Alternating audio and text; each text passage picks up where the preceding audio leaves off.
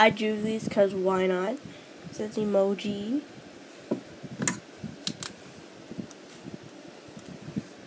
There.